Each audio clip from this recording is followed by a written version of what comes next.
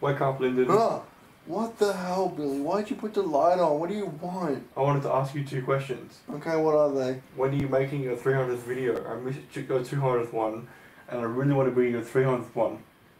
When I get to th- my 300th video, duh. But you posted your 299th video yesterday. No, it wasn't, Billy. It was like seven months ago. We, made my two 200th video. There's no way I've made another 100 videos since then. No, you did. See, look.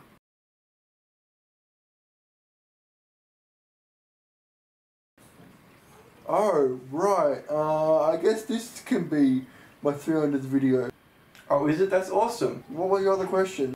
What's Christmas? Are you serious, Billy? You don't know what Christmas is? Oh, well, it's basically this day where we celebrate the birth of Jesus Christ. So why aren't you making Hanukkah videos as well? What, you have a problem with Jewish people?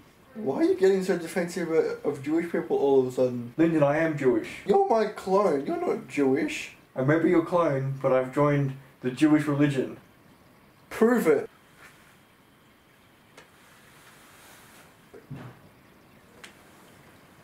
Oh, I guess you are Jewish.